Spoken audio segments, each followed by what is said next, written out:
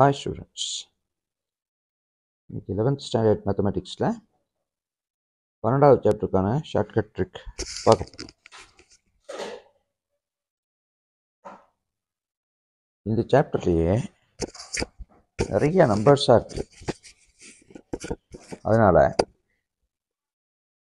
கொஸ்டின்லேருந்து answer கண்டுபிடிக்கிறத விட சில trick அங்கங்கே நான் யூஸ் பண்ண போகிறேன் அது என்னென்னா நம்பர்ஸ் வரக்கூடிய இடத்துல. ஆன்சரில் வெறும் நம்பராக தான் வரும். பார்த்தாலே கண்டுபிடிச்சிடலாம். நிகழ்த்தகவு நிகழ்த்தகவுன்னு வரும். அப்படின்னால இது பன்னெண்டாவது சாப்டர்னு தெரிஞ்சுக்கலாம். நம்பராக வரும்போது பத்தொம்போதுங்கிற நம்பர் வந்தால் ஆன்சரில் அதுதான் விடை. இருபத்தி ஒன்று வந்தாலும் அதுதான் ஆன்சர் ஆன்சரில் பத்தொம்போது அல்லது இருபத்தொன்று வந்துச்சுன்னா இந்த சாப்டருக்கு மட்டும் தான் நான் சொல்கிறேன் இந்த ட்ரிக் பொருந்தும். பத்தொம்போது இருபத்தொன்னு வந்தால் அதுதான் ஆன்சர் சரி அப்புறம் முதல்ல பத்தொம்போது இருபத்தொன்னு வந்தால் பார்த்துருவோம். பார்க்க இந்த கேள்வி பார்ப்போம். மூன்று ஆண்கள் இரு பெண்கள் மற்றும் நான்கு குழந்தைகள் உள்ள ஒரு குழுவிலிருந்து சமவாய்ப்பு முறையில் நான்கு நபர்கள் தேர்ந்தெடுக்கப்படுகிறார்கள் அவர்களில் சரியாக இருவர் மட்டுமே குழந்தைகளாக இருப்பதற்காக நிகழ்த்தகவு ஆன்சரை பாருங்கள் இருபத்தொன்று இருக்கா? அவ்வளோதான் அப்படி டக்குன்னு போட்ட முடியுது பத்தொம்போதோ இருபத்தொன்னோ பார்த்தா அதுதான் ப்ரையாரிட்டி பத்தொம்போது இருபத்தொன்று இருந்தால் அதுதான் ஆன்சர் ரெண்டாவது கேள்வி.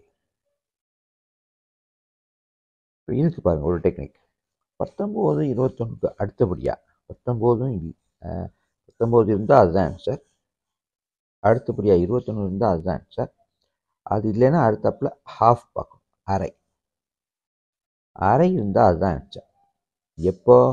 பத்தொம்போது இருபத்தொன்று இல்லைன்னா அறை இருந்தால் ஆனால் அந்த அறைக்கு மட்டும் ஒரு சின்ன கட்டுப்பாடு இருக்குது என்ன கட்டுப்பாடுனா கொஸ்டினில் ஆஃப்ங்கிற நம்பர் இருக்கக்கூடாது. உதாரணமாக அறை வருதா? இது நான் ஆன்சர்னு எடுத்துக்கிறேன். இது எப்போ எடுக்கக்கூடாது அப்படின்னா கேள்வியில் எங்கேயாவது ஒன் பை டூ வந்துச்சுன்னா ஒன் பை டூ நம்ம ஆன்சரில் எடுக்கக்கூடாது. இப்போ கேள்வியில் ஒன் பை டூ இல்லை. ஆன்சரில் ஒன் பை டூ இருக்குது அதுதான் ஆன்சர் திருப்பி உட்கா சொல்கிறேன் பத்தொம்போது வந்தால் அது விடை. இருபத்தொன்று வந்தாலும் அது விடை. அதுதான் ப்ரையாரிட்டி அது ரெண்டும் இல்லாமல் இருந்தால் அடுத்து ஹாஃப் ஒன் பை டூ இருக்கான்னு பார்க்கணும். ஒன் பை டூ இருந்தால் அதுதான் விடை. ஆனால் ஒரு சின்ன கட்டுப்பாடு ஒன் பை டூ அது என்ன கட்டுப்பாடு? கேள்வியில் ஒன் பை டூங்கிற நம்பர் வந்துருக்கக்கூடாது ஒன் பை டூ இருக்கக்கூடாது இந்த கேள்வியில் பாருங்கள் ஒன் பை டூ இல்லை. ஆனால் ஆன்சரில் ஒன் பை டூ இருக்குல்ல? அதனால் இதுதான் ஆன்சர் பத்தொம்போது இந்த ரெண்டாவது கேள்வியை பொறுத்த வரைக்கும் ஆன்சரில் பாருங்கள் பத்தொம்போது இருக்கா? இல்லை. இருபத்தொன்று இருக்கா? இல்லை. அரை இருக்கா? இருக்குது ஆனால் அரை போடுறதுக்கு முன்னாடி கேள்வியை பார்க்கணும். கேள்வியில் அரைங்கிற நம்பர் இருக்கா? இல்லை. அப்போ அதுதான் ஆன்சர் முடிஞ்சு போச்சு. இது ரெண்டாவது டெக்னிக் இது மாதிரி இன்னும் ரெண்டு மூணு டெக்னிக் இருக்குது நான் சொல்கிறேன் மூணாவது கேள்வி. பாருங்க. அப்படியே ஆன்சரை பாருங்கள் பத்தொம்போது இருக்கா? இல்லை. இருபத்தொன்று இருக்கா? ஆ இருக்குது இந்த இருக்குல்ல இருபத்தொன்று அவ்வளோதான் பத்தொம்போது இருந்தால் அது ஆன்சர் அப்படி இல்லைன்னா இருபத்தொன்று இருந்தால் அது ஆன்சர் அது ரெண்டும் இல்லைன்னா மட்டும்தான் அரைக்கு போகணும்.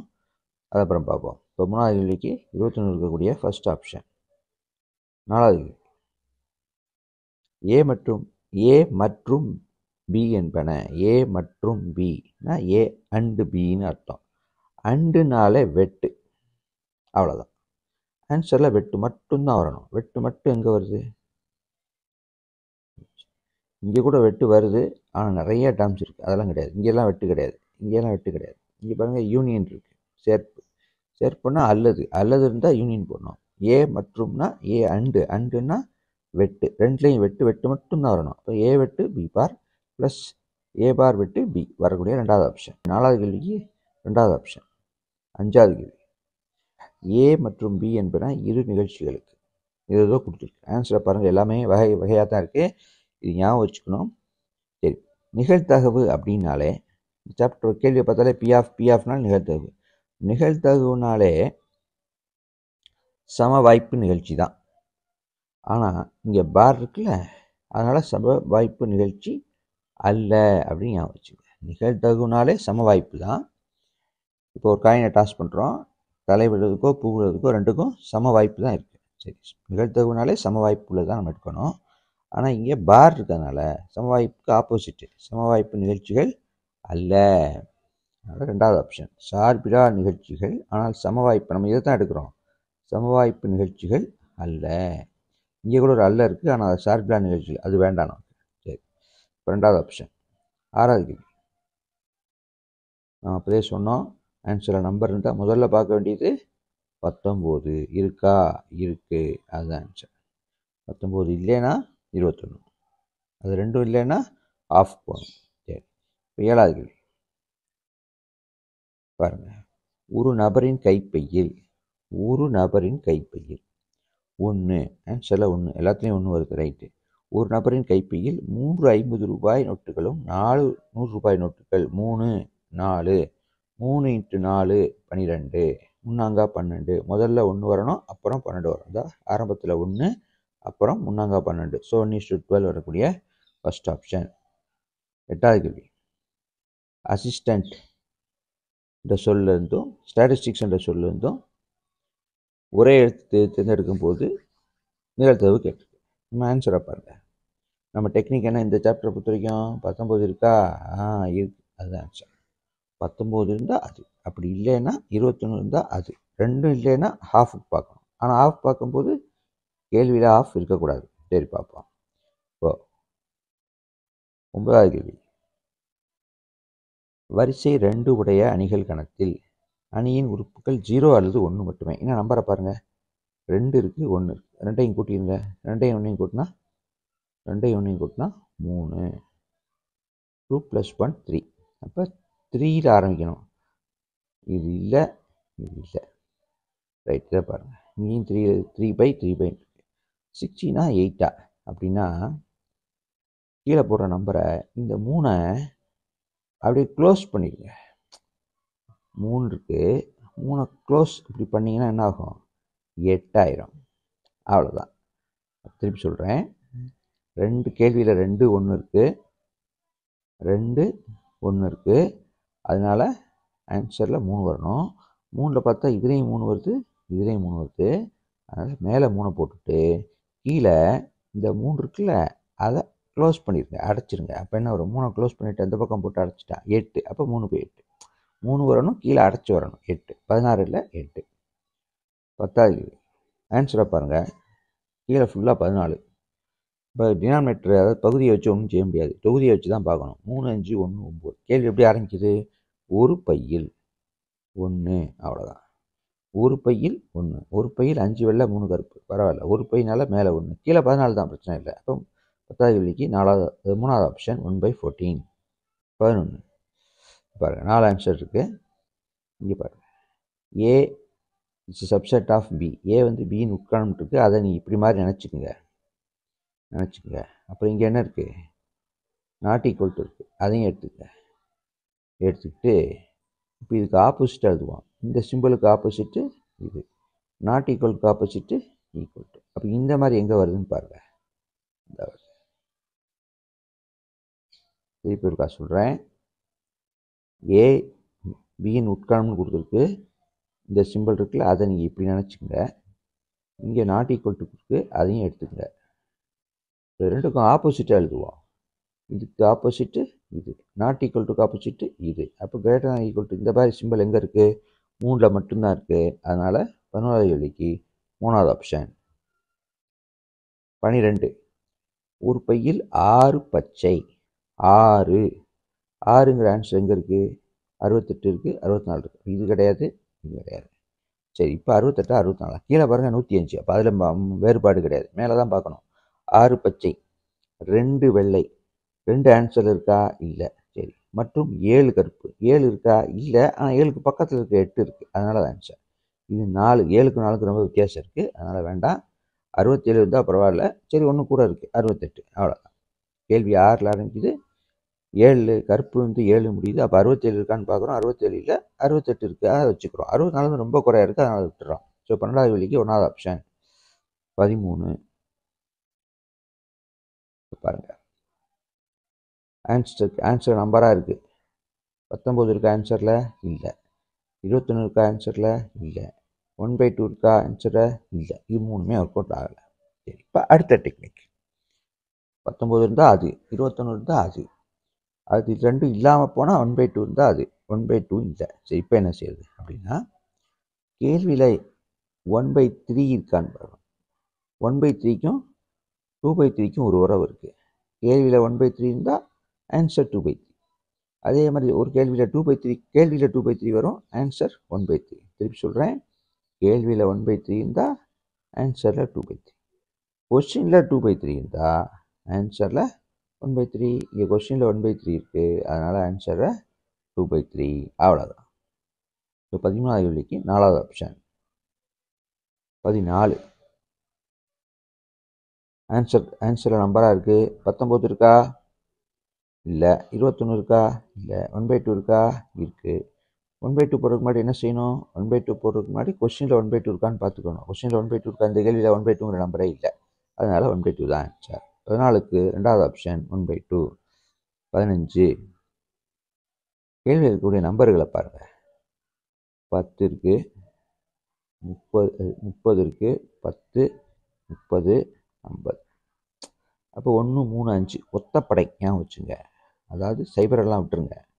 ஒன்று மூணு அஞ்சு. ஒன்று மூணு அஞ்சுக்கு அடுத்து வரக்கூடிய ஒத்தப்படை என்ன வரும்? ஏழு. இப்போ ஏழில் என்ன பிரச்சனைனா ரெண்டு ஆன்சர் எழுபத்தொன்று எழுபது நான் இப்போ தான் சொன்னேன் வெறும் ஒத்தப்படைன்னு வச்சுக்கோங்க. வெறும் ஒத்தப்படை நம்பர் தான் வரணும் ஆன்சரில் இப்போ ஏழு சைபர் இல்லை ஒன்று ஒத்தப்படையாக வரக்கூடிய கேள்வியில் ஒன்று இருக்குது மூணு இருக்குது அஞ்சு இருக்குது கொஸ்டினில் பத்தெல்லாம் ஒன்று கண்டுக்காதீங்க. ஒன்று இருக்குது மூணு இருக்குது அஞ்சு இருக்குது அப்போ ஆன்சரில் அடுத்து ஏழு வரணும். ஏழுன்னா ரெண்டு ஆன்சர் இருக்குது எழுபத்தொன்னா எழுபதா இதில் வெறும் சிங்கிள் டிஜிட் அதாவது ஒத்தப்படையின் மட்டும் தான் வரணும். ஏழுக்கு அப்புறம் சைபர் வரணும்னா எழுபத்தி ஒன்று அதனால் பாயிண்ட் செவன் ஒன் ஸோ பதினஞ்சாவது விலைக்கு மூணாவது ஆப்ஷன் பாயிண்ட் செவன் ஒன் பதினாறு. கேள்வி இருக்க நம்பரை பாருங்கள் point three five point six சரி. பாயிண்ட் த்ரீ ஃபைவ் ஃபைவ் அது ஆன்சரில் இருக்கா? இருக்கு ஏன் சார் சிக்ஸ் இருக்கா? சிக்ஸ் எல்லாம் இல்லை பாருங்கள் பாயிண்ட் சிக்ஸ் இருக்குது சிக்ஸ் எல்லாம் ஆன்சர் இல்லை. பாயிண்ட் த்ரீ ஃபைவ் இருக்கக்கூடிய வெறும் த்ரீயும் ஆன்சர் இல்லை. பதிமூணு இருக்குது வெறும் த்ரீ ஆன்சர் இல்லை. ஸோ பாயிண்ட் த்ரீ ஃபைவ் அதனால் ஃபைவ் வரக்கூடிய ஃபர்ஸ்ட் ஆப்ஷன் கீழே வரங்க எல்லாம் பதிமூணு அதை கண்டுக்க வேணாம். இப்போ அஞ்சு ஒன்று நாலு ஏழில் எது ஆன்சர் கேள்வியில் மூணு அஞ்சு ஆறு மூணு நம்பர் தான் இருக்குது அது ஆன்சரில் எந்த நம்பர் அப்படியே ரிப்பீட் ஆகுது? அஞ்சு மட்டும் இருக்குது அதனால் ஃபைவ் பை தேர்ட்டீன் பதினாறாவது பதினேழாவது கேள்வி. ஆன்சரை பாருங்கள் ஆன்சரில் பத்தொம்பது இருக்கா? இல்லை. இருபத்தொன்று இருக்கா? இல்லை. ஒன் பை டூ இருக்கா? இருக்குது ஆனால் ஒன்று ஒரு கட்டுப்பாடு சொன்னேன். என்ன கட்டுப்பாடு? கேள்வியில் ஒன் பை டூ இருக்கக்கூடாது. இருந்தால் இல்லாமல் இருந்தால் தான் ஆன்சரில் ஒன் பை டூ போடணும். அப்போ கண்டிப்பாக ஒன் பை டூ இல்லை. சரி. ஆன்சரில் ஒன் பை த்ரீ இருக்குது ஆனால் கேள்வியில் டூ பை த்ரீ இருந்தால் தான் ஆன்சரில் ஒன் பை த்ரீ போடணும். கொஸ்டினில் டூ பை த்ரீ இருந்தால் தான் ஆன்சரில் ஒன் பை த்ரீ போடணும். அதனால் அதுவும் கிடையாது. பாக்கி இருக்க ரெண்டில் ஒன்று தான் சரி. இந்த பத்து இருக்குது ரெண்டு. இருக்குது பத்து ரெண்டால் வகுத்துருங்க ten by two ten by two எவ்வளவு? ஃபைவ் ஃபைவ் வரக்கூடிய ஆன்சர் திருப்பி சொல்கிறேன் ஆன்சரில் பத்தொம்போது இருக்கா? இல்லை. இருபத்தொன்று இருக்கா? இல்லை. ஆஃப் இருக்கா? இருக்குது ஆனால் கேள்வியில் ஆஃப் இருந்தால் ஆன்சரில் ஆஃப் வரக்கூடாது. அதனால் ஃபஸ்ட் ஆப்ஷன் கிடையாது. ஒன் பை த்ரீ இருக்குது ஆன்சர் வருமா? கேள்வியில் டூ பை த்ரீ வரும்போது ஆன்சர் ஒன் பை த்ரீ வரும். கேள்வியில் டூ பை த்ரீ இல்லை அதனால் அது கிடையாது. இப்போ வேறு என்ன செய்யுது வேறு இது ரெண்டில் ஒரு ஆன்சர் தான். பத்து ரெண்டால் வகுத்தா அஞ்சு. ஒன் பை ஃபைவ் ஸோ பதினேழுக்கு நாலாவது ஆப்ஷன் ஒன் பை ஃபைவ் பதினெட்டு பாருங்கள் பாயிண்ட் ஃபோர் இருக்குது பாயிண்ட் சிக்ஸ் இருக்குது பாயிண்ட் ஃபோர் பாயிண்ட் சிக்ஸ் நடுவில் ஒரு ஆளை காணும். அவர் யார்? அவர் தான் பாயிண்ட் ஃபைவ் பாயிண்ட் ஃபைவ் வரக்கூடிய மூணாவது option point four point six நடுவில் பாயிண்ட் ஃபைவ் இந்த பாயிண்ட் எயிட்லாம் நம்ம வித்தியாசம் ஜாஸ்தி இருக்குது அதெல்லாம் விட்டுருங்க. கண்டுக்காதீங்க. பாயிண்ட் ஃபோருக்கும் பாயிண்ட் சிக்ஸுக்கும் நடுவில் பாயிண்ட் ஃபைவ் பத்தொம்போது கேள்வியில் பாருங்கள் விகிதம் ஃபைவ் த்ரீ ஃபைவ் த்ரீ ஆன்சரில் ஃபைவ் த்ரீ இருக்கா? Sixty five twenty three five three வேறு எங்கேயுமே ஃபைவ் த்ரீயில் முடியல. இங்கெல்லாம் இருக்கு? ஆனால் த்ரீ ஃபைவ் அது கிடையாது. இங்கே த்ரீ எயிட் அது கிடையாது. முடிகிற நம்பர் சொல்கிறேன் எயிட் த்ரீ கிடையாது. நமக்கு முடிகிறது ஃபைவ் த்ரீயில் முடியக்கூடிய செகண்ட் ஆப்ஷன் அதனால் பத்தொம்போதுக்கு ரெண்டாவது ஆப்ஷன் இருபது. ஆன்சரை பாருங்கள் பகுதி எல்லாமே பதினாறு. அதனால் அதை வச்சு ஒன்றும் செய்ய முடியாது. தொகுதியை வச்சு பார்க்கணும். மூணு அஞ்சு ஏழு பதினொன்றில் எது எடுக்காது? அதுக்கு எப்படி செய்யலாம்னா கேள்வி இருக்கக்கூடிய நம்பர்களை பாருங்கள் எண்ணுவோம். ஒன்று ரெண்டு மூணு நாலு. நாலு உறுப்பு இருக்குது இங்கே பாருங்கள் எக்ஸ் ஸ்கொயர் ஏஎக்ஸ் பி மொத்தம் அங்கே நாலு இங்கே மூணு. எவ்வளோ உறுப்பு இருக்குது ஏழு. அப்போ ஆன்சரில் ஏழு. ஸோ இருபதாயிரம் கேள்விக்கு மூணாவது ஆப்ஷன் ஏழு பை பதினாறு. இருபத்தி ஒன்று ஆன்சரை பாருங்கள் பத்தொம்போது இருக்கா? இல்லை. இருபத்தொன்று இருக்கா? இல்லை. ஒன் பை டூ இருக்கா? இருக்குது ஆனால் அது ஆன்சர் இல்லை ஏன் இல்லைன்னா கேள்வியும் ஒன் பை டூ இருக்குது கேள்வியில் ஒன் பை டூ வந்து ஆன்சர் ஒன் பை டூ கண்டிப்பாக வரக்கூடாது. சரி அப்படியே பார்ப்போம். வேறு நமக்கு பழக்கப்பட்ட நம்பர் இருக்குது கேள்வியை பாருங்கள் டூ பை த்ரீ இருக்குது ஆஹா டூ பை த்ரீ இருந்தால் ஆன்சர் ஒன் பை த்ரீ வரணும் அவ்வளோதான் கேள்வியில் டூ பை த்ரீ இருந்தால் ஆன்சர் ஒன் பை த்ரீ வரணும் கேள்வியில் ஒன் பை த்ரீ இருந்தால் ஆன்சரில் டூ பை த்ரீ வரணும் அதனால் இந்த இடத்துல டூ பை த்ரீ கேள்வியில் டூ பை த்ரீ இருக்குது கேள்வியில் டூ பை த்ரீ இருந்தால் ஆன்சரில் ஒன் பை த்ரீ வரணும் ஸோ இருபத்தோராவது கேள்விக்கு ரெண்டாவது ஆப்ஷன் ஒன் பை த்ரீ இருபத்தி ரெண்டு ஒரு குறிப்பிட்ட கல்லூரியில் நாலு சதவீதம் மாணவர்கள் ஒரு சதவீதம் மாணவி. நாலு ஒன்று கழிச்சிருங்க. நாலுலேருந்து ஒன்று மாணவன்லேருந்து மாணவியை கழிச்சிருங்க. ஸோ த்ரீ கூட்டிடாதீங்க. ஃபைவ் வேண்டாம். கழிச்சிட வேண்டியது. நாலு மைனஸ் ஒன்று மூணு. ஸோ இருபத்தி ரெண்டுக்கு ரெண்டாவது ஆப்ஷன் இருபத்தி மூணு பத்து நாணயங்கள் சுட்டும்போது குறைந்தது எட்டு. கேள்வியில் எட்டுங்கிற ஒரே நம்பர் இருக்குது ஆன்சரில் எட்டுங்கிற அவ்வளோதான் இருபத்தி மூணுக்கு எட்டுக்கு எட்டு நாலாவது ஆப்ஷன் இருபத்தி நாலு. கேள்வியை பாருங்கள் பாயிண்ட் த்ரீ இருக்குது பாயிண்ட் சிக்ஸ் இருக்குது பாயிண்ட் ஒன் எயிட் இருக்குது பாயிண்ட் ஒன் எயிட் இதை எடுத்துக்கும் பாயிண்ட் ஒன் எயிட் அதே மாதிரி ரித்தம்பிக்கா எங்கே வருது? One eight two eight one eight two eight அவ்வளோதான் so one eight two eight வரக்கூடிய ஃபோர்த் ஆப்ஷன் இருபத்தி அஞ்சு.